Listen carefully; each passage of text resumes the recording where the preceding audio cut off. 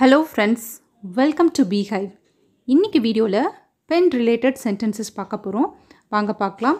நம்மளோட first sentence என்னோட பேனா எழுத மாட்டேங்குது. இதை நம்ம எப்படி சொல்லலாம்? மை பென் இசன்ட் ரைட்டிங் அப்படின்னு சொல்லலாம்.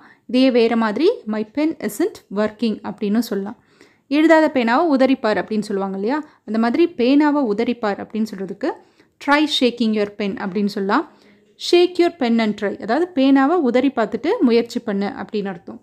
Next one don't shake your fountain pen it will throw ink all over your notebook fountain Penna ink pen நம்ம சொல்லுவோம் இல்லையா? அதுதான் ஃபவுண்டைன் பென் அப்படின்னு சொல்கிறோம் உன்னோட இங்க் பென்னை உதறாத உதறனா உன்னோட நோட் புக் ஃபுல்லாக இங்க் ஆகிடும் அப்படின்னு அர்த்தம். இதுவே டேபிள் ஃபுல்லாக இங்க் ஆகிடும் அப்படின்னு சொல்கிறதுக்கு it will throw ink all over your table அப்படின்னு சொல்லலாம். இல்லைனா it will throw ink over your table table மேலே இங்க் படும் அப்படின்னு அர்த்தம்.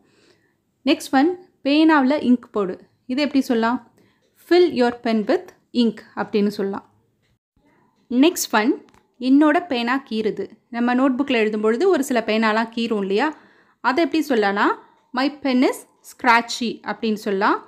Next one misaligned tines can cause a pen to scratch டைன்ஸ்னால் என்னென்னா அந்த நிப்போட ரெண்டு பக்கம் இருக்கு இல்லையா? அதை தான் நம்ம டைன்ஸ் அப்படின்னு சொல்லுவோம். மிஸ் அலைன்ட்னா சரியாக பொருந்தாத அப்படின்னு அர்த்தம். இப்போ இந்த சென்டென்ஸோட மீனிங் டைன்ஸ் சரியாக பொருந்தலைன்னா பேனா கீரும் எழுதும் பொழுது கீரும் அப்படின்னு அர்த்தம். நெக்ஸ்ட் ஒன் உன்னோட பேனா நல்லா எழுதுது ஸ்மூத்தாக எழுதுதுன்னு சொல்லுவோம் இல்லையா? அதை எப்படி சொல்லலாம்னா யுவர் பென் ரைட்ஸ் ஸ்மூத்லி அப்படின்னு சொல்லலாம். அவளோட பேனா லைட்டாக எழுதுது அப்படின்னு சொல்கிறதுக்கு ஹர் பென் ரைட்ஸ் லைட்லி அப்படின்னு சொல்லலாம். அடுத்தது பேனாவை திற பேனாவோட மூடிய திற அப்படின்னு சொல்லுவோம் இல்லையா? அதை எப்படி சொல்லலாம்னா கேப் ஆஃப் த பென் அப்படின்னு சொல்லலாம். இல்லைனா அன்கேப் த பென் அப்படின்னு சொல்லலாம். அந்த மாதிரி இந்த ஃபவுண்டைன் பென் இதெல்லாம் பார்த்தீங்கன்னா கொஞ்சம் திருகி திறக்கிற மாதிரி இருக்கும். அதை எப்படி சொல்லலாம்னா twist the cap of the pen அப்படின்னு சொல்லலாம். நெக்ஸ்ட் பென் பேனாவை கேப் போட்டு மூடிவை இதை எப்படி சொல்லலாம்னா கேப் த பென் அப்படின்னு சொல்லலாம்.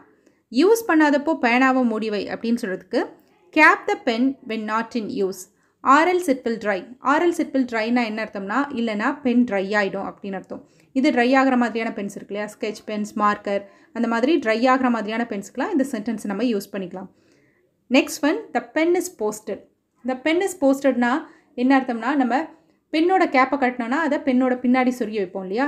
அதுக்கு தான் பென் இஸ் போஸ்டட் அப்படின்னு அர்த்தம். இதை மோஸ்ட்லி ஃபவுண்டைன் பெண்ணோட யூஸ் பண்ணுவாங்க. நம்ம இதை பால் பாயிண்ட் பெனுக்கு யூஸ் பண்ணிக்கலாம்னு நினைக்கிறேன். அந்த மாதிரி பெண்ணோட நிப்லாம் விரிஞ்சிருக்கும் இல்லையா? அதை எப்படி சொல்லலாம்னா my pens tines are splayed அப்படின்னு சொல்லலாம். தேங்க்ஸ் ஃபார் வாட்சிங் and thanks for your support take care and stay safe